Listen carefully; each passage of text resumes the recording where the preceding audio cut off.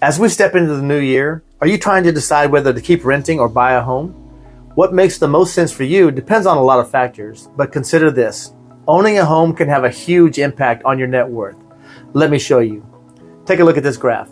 It shows that on average, a homeowner's net worth is about $400,000. Meanwhile, the average renter's net worth is only about $10,000. That means a homeowner's net worth is roughly 40 times higher than a renter's. Here's one more reason why. When you rent, your monthly payment covers your housing cost, but you don't get any return on your investment. But when you own your home, your monthly payments work like a forced savings account. As you pay down your home loan and as home prices rise, you build equity.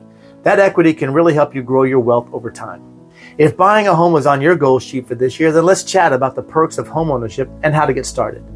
Call or text me today and let's discuss your real estate plans. And remember, it really does matter who you choose to be your realtor.